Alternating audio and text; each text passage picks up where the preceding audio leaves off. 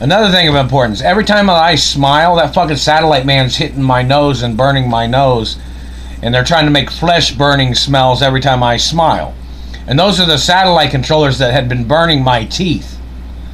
Like the fucking satellite man's trying to trying to burn my face, and they're always trying to make some shit smelling stink. That's attempted murder. They ain't got a right putting their shit in my face or burning my face with a satellite. That's attempted murder. Hello, Jewish churches and Catholic churches and Jewish schools that I went to, and hello, Beverly Hills Elementary, Junior High, and High School. Oh, and another thing, in reference to bodybuilding and the history of me being in bodybuilding or sports,